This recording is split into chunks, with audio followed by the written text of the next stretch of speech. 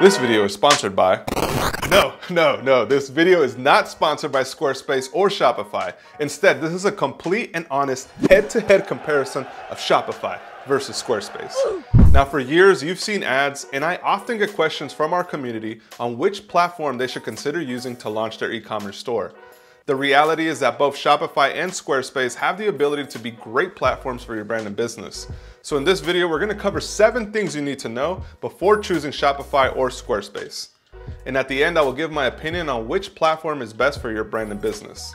So if you're a new visitor to this channel, hit that subscribe button right down below and turn on post notifications to be alerted of our latest video drops. On this channel, we help entrepreneurs build brands that impact the world from the ground up. First off, let's begin by talking about design. Now both platforms have the ability for you to create an elegant looking website. However, one thing Squarespace themes do a phenomenal job at is that they are tailored for creative entrepreneurs.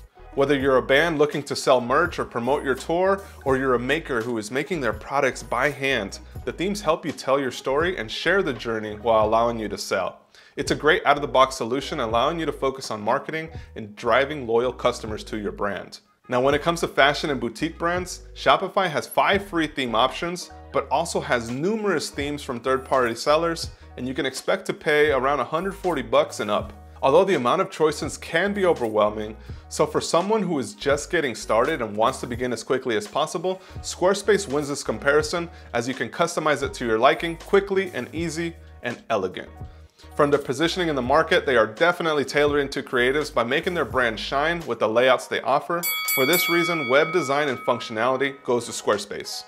Now the next thing you need to know about both platforms is the transaction fees. In this comparison, we are only going to compare Shopify's entry level price with the cheapest business package that Squarespace has to offer.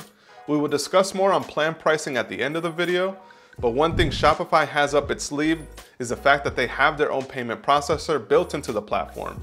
Where with Squarespace, you will need to integrate Stripe, Square, or PayPal when selling your products on your website.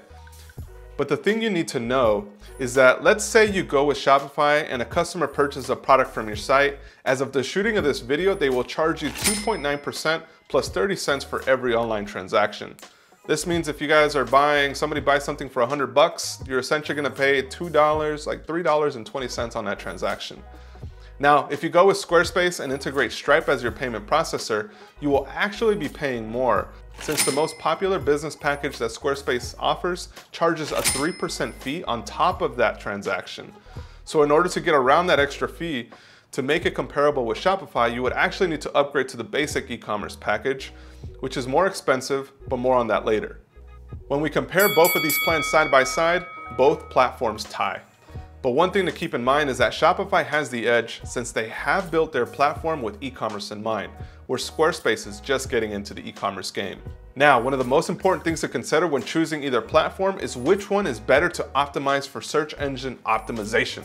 Kind of sounds redundant, but this means how likely is your store or product going to be coming up online as a search result when somebody goes to like Google or something? When it comes to all things Google, in order for a site to be SEO friendly, you need to be able to modify and describe as many things as you can on the site.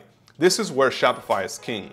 The ability to add more metadata to the site means that Google and other search engines like Bing or DuckDuckGo can crawl through your site for your products or your services to show up in search. Squarespace currently does have some SEO capabilities, but is not up to par with Shopify. So if you're looking for the best SEO capabilities, the clear winner here is Shopify. Now when it comes to managing inventory, with Shopify you have the ability to manage four to eight different locations where you store your products. So whether you have a warehouse full of items or a storefront open to the public, you can easily manage your inventory across all channels. You have an instant snapshot of the items that are in stock and those that you need to place new orders for. Now, when it comes to Squarespace, in order to have the same level of control that Shopify comes preloaded with, you will have to install a third-party plugin, which is an additional cost. So if you're looking for the best way to manage your inventory without having to purchase plugins, Shopify is a clear winner here. Now this leads us into the next big point, which is actually a big deal for online stores, which is plugins and extensions. Whether you're looking to dropship or add an automated messaging plugin to your site, being able to add plugins to your website is key to growing your empire.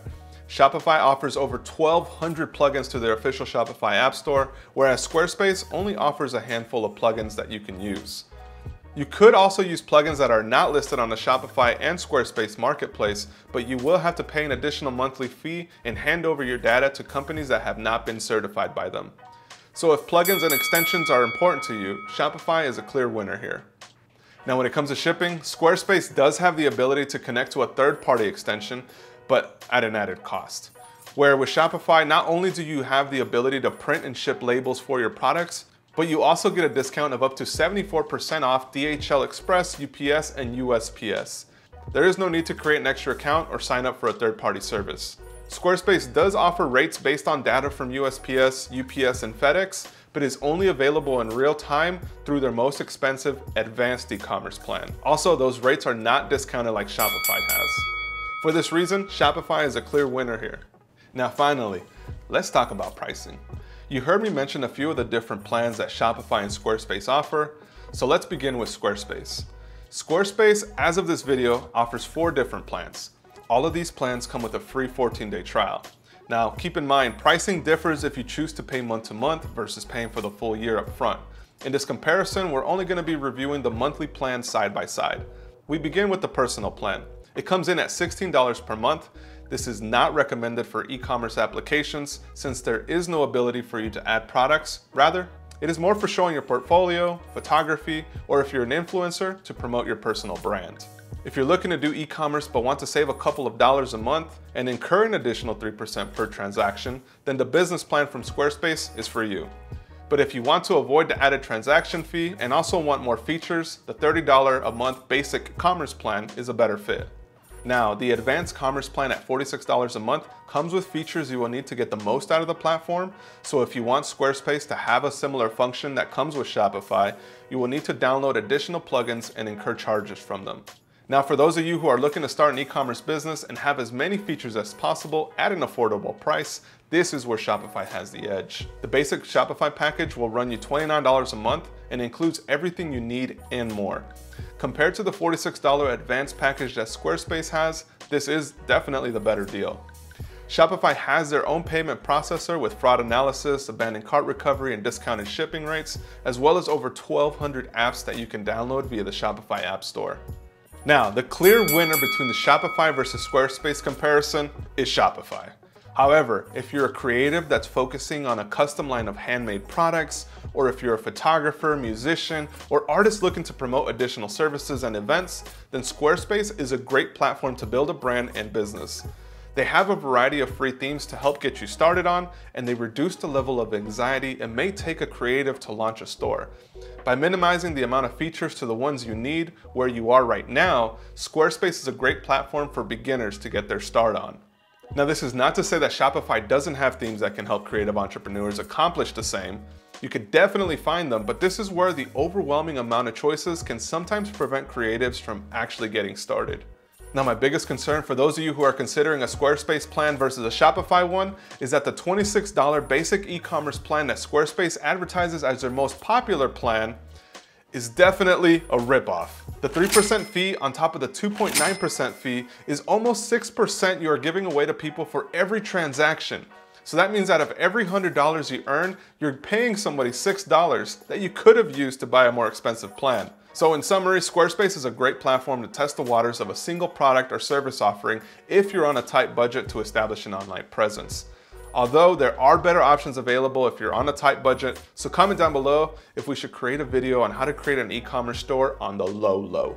Appreciate you guys for watching. If you decide to use any of the platforms we mentioned in this video, if you could please use the links right down below as they'll actually help us produce more content to help you navigate the entrepreneur journey. If you're a new viewer of ours, we welcome you to join the community. The mission of this channel is to bring clarity to the unknown and equip you to act. In return, we only ask that you pay it forward by building a brand that impacts the world. See you on the next one.